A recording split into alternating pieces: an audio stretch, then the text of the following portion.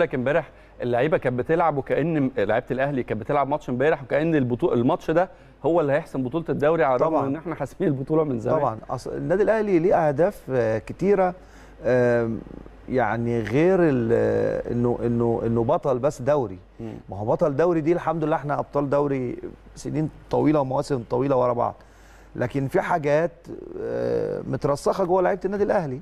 هو بيلعب أي مباراة لازم يكسب فيها لازم آه، الناس فاهمة دوت واللعيبة متربية على كده. ال- المركز الثاني لما بناخده الناس بتبقى زعلانة. آه، لو بنلعب أي ماتش حتى لو ودي الناس بتتأثر وتزعل لو. النادي الأهلي خسر. فلعيبة النادي الأهلي فاهمة القصة ديت وكل ال- الإدارات اللي بتمر على النادي الأهلي فاهمة دوت. وكمان آه، النادي الأهلي كان ليه أهداف أخرى من المباراة. اولا مدير فني جديد.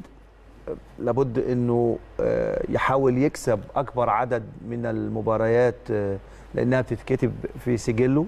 لسه بادئ مشواره فيحب إنه إنه يتحط اسمه يعني ب ب ب ب ب بالحبر بقى مش فعايز يكسب كل مباراة. ما فيش آه. حاجة عنده أدي دي أنا بتكلم على مستوى المدرب نفسه كمدرب. تمام. بعد كده في حاجات بقى لل- لل- للعيبة كلعيبه إنه بيراميدز بقى منافس مهم في في الدوري آه، بيراميدز قبل كده كسبنا آه، مرتين أو ثلاثة في السنوات الأخيرة فهي مباراة برضو آه، ليها مغزى عند لعيبة النادي الأهلي إن ما. يخسروش من آه، من بيراميدز لازم نكسب آه، لازم نكسب دي قلت لك على كل الفرق بس برضو تمام. كمان بتبقى مع الفرق اللي ب- المنافسة قريبة منك طبيعي وبتنافسك طبيعي زي الزمالك زي, زي بيراميدز الإسماعيلي، زي زي- الاسماعيلي تبقى آه. الحافز أو الدوافع أكتر مم.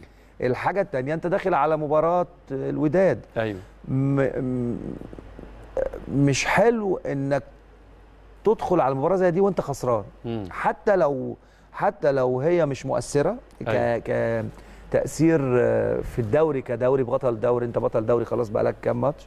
لكن برضو معنويا لما بتبقى أنت كسبان أو متعادل ما خسرتش غير لما بتخسر ممكن ت... مش هقول يعني طبعا دي بطولة ودي بطولة ولكن أيوة. برضو بتسيب جرح شوية إنك آه. أنت غير بتنزل معنوياتك آه لكن آه. لما بتبقى كسبان آه، بتبقى معنوياتك في منتشي السما. ومرتاح- مر- طب عندك خ- مرتاح. خليني أقف- أهداف كتيرة من. المباراة عشان كده خليني